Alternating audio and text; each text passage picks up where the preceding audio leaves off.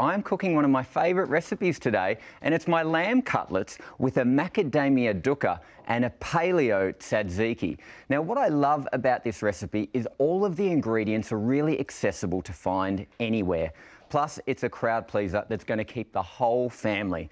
Three simple elements put together on the plate with an abundance of flavour and health because I'm here to show you that healthy can be made easy. And Luke, good to hang out with you. We actually get to spend some time in the kitchen. I know, that's exactly right. And I might be able to put you through your paces and teach you a few things, but I hear you're not a bad cook already. I, I love cooking, but actually I think you can probably give me some tips because I like to cook with things like cream and butter. All right. But I'm seeing here we've got healthy made easy, so I'm thinking this could be a good thing for me. That's exactly right. So healthy made easy, guys, is all about proving that anyone who might have a food intolerance or is simply looking to kind of clean up their act a bit Yep. can cook food That that is is, also delicious. So it's funny that you mentioned dairy and butter and Yep. cream because today we're making a paleo tzatziki. Now this Ah. tzatziki is actually using an avocado as the base Yep. instead of a yogurt. Ah, cool. So we're bringing out that creaminess that an avocado brings, but we're making it dairy free for people who might have a food intolerance. So you've already broken it down for me because you go tzatziki, I go, that's scary, I don't know how to do that.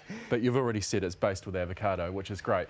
What do we start with though? All right, let's get some heat on here. So what we're going to do, often when we're cooking, we add oil to the pan. Yep. But when we want to dry roast things, what we do is we, we want to leave that pan nice and dry. Sure. So I've chopped up some macadamia nuts. So what are these making? Oh, So, so, the So this is for macadamia the dukkha. The dukkha, this right. is for the dukkha. So we've got lamb cutlets. Yep. We're going to coat them in a dukkha. Yep. And then fry them off. Great. And we're going to serve that with a generous dollop Cool. of tzatziki. Is this like when you do, say, pine nuts, for example, you really got to keep an eye on what's in the pan, or is it uh, macadamia a little more forgiving? Let's just say you don't want to wake up in the morning and burn your nuts. Okay, good. All right, that's all I can say about this. So what I'm going to get you to do don't. Is uh, Mike's a bit of an expert, so I'm not sure how you're going to go, but I want you to stir your nuts this That's- morning. I will stir my nuts. With the wooden spoon. Yep, That's good. perfect. Now, whilst you do that, I'm going to get the other elements for the macadamia dukkha ready Sure. to rock and roll. So what we've got here, now a lot of people, when they buy spices, they buy them pre-ground. Yep. Today, we're actually going to use them whole,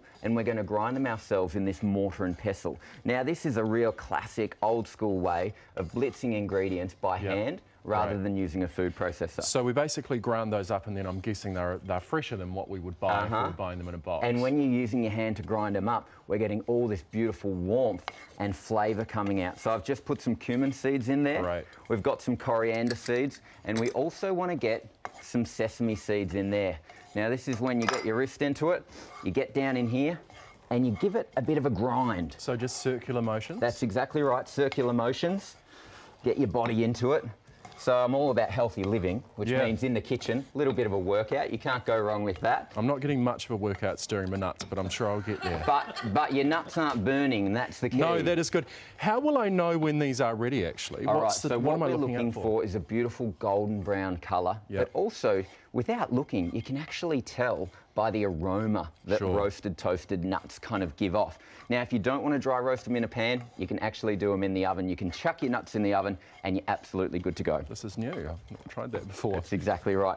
So I'm going to continue grinding that down. And when I've completely worked that through, Yep. we're going to add that to the macadamia mixture. But in the meantime, Right. I want to quickly show you some of the elements for the paleo tzatziki. Sure. So we all know that cucumber is a key part of the tzatziki. Yeah, absolutely. And that adds a really delicious freshness to it. So basically, you only need about half there. You could use a small Lebanese cucumber, or you can use half to a quarter of a continental cucumber. With Right. cooking, don't feel restricted by a recipe. So it might say continental, mix it up, do what works for you.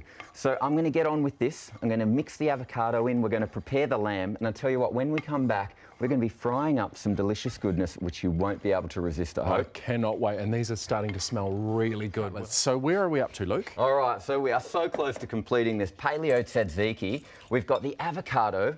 We've mushed that up together with some extra virgin olive oil, garlic and salt, the Now, keys just to flavour. Normally we'd be using yogurt, right? But Yep. this is obviously healthy made easy, so we Uh-huh. are using the avocado. That is exactly right. Now, no tzatziki would be complete without some beautiful mint through it. So what we're going to do is we're just going to pick some mint leaves off here, and we're going to slowly run our knife across them like so, getting a nice fine slice through there. Now, this is really important because I've known people who have absolutely pulverised their mint and then don't like the flavour or the smell that they end up with. That's so you're just right. going fine, right, with the knife over there? Yeah, very fine. I think with fresh herbs, guys, you have to be really gentle with them. You'll find with basil, you can actually bruise it if Yeah. you go too hard, and it gets kind of this brown discoloration. So I want you to have a little bit of a smell of that. The last thing to go in there is some dill.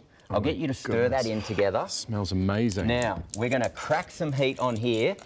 We've ground our nuts, we've toasted our nuts, and now it's time to coat the lamb with some nuts. So, so coconut oil in there, right? coconut oil in there to fry with. Now, into our dukkha mixture, we are going to add some chili flakes. Great. Just like so. And we're also going to add some dried flat leaf parsley. Honestly, you wouldn't believe all the smells I'm getting here. This is just incredible. Sorry, I should have showered before coming in. My bad. No, they're good smells, I promise you.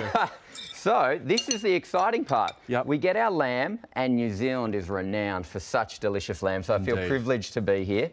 And you press your lamb cutlet in there, get a nice coating of the dukkha, just like so. And then what we're going to do is we're going to place this in the pan like so. And what we're going to do is we're going to continue this with a couple more. Look at all the seeds here, the flavour. We've got the macadamia nuts shining through, and you can hear that bit of a sizzle We that love we're that getting sizzle. from the pan right now. I remember a time when dukkha was seen as a, as a crazy thing. Who would eat that? What, what is it? And now it's a little bit more normal, and you're making it easy and healthy, and that's what we love. It's very trendy, and I love it because it's simple for people to do. Yeah. You can make a really big batch of it at home, have it in a jar, and you can coat fish with it, you can coat lamb with it, you can do all sorts of things. I'm actually not too afraid of a beautiful avocado smash on toast with a sprinkle of dukkha. Oh yeah. Tell you what, There's that is Sunday delicious. breakfast for you. And don't you love that food now is not just some grey meat and some boiled veg either? Uh-huh. either. We can be more creative, we can be healthy while we do it. And it, it looks really good too. It's just one of those things that. uh, I'm wondering though, uh, I'm actually one of those people that's terrible. I try skewers, I try my fingers when it comes to cooking meat. How do you know? What's going to tell me that these are done? How long would you cook these? I always, first and foremost, I love people to become intuitive cooks. Right. And you become an intuitive cook when you get into the kitchen more. But Yeah. to answer your question, the best thing to do is err on the side of, of caution. So when you're cooking things like seafood or lamb, I'd rather people learn whilst eating it a little overdone Sure. rather than underdoing Yeah. it and potentially not enjoying it. How would you eat a lamb cutlet? What's your preference in terms of Pink. Pink? It Yeah. should be pink. It shouldn't be scarily bloody, but what it should be is a beautiful blushing pink, which I might blush here in a minute. but um, it's a bit of a blushing pink.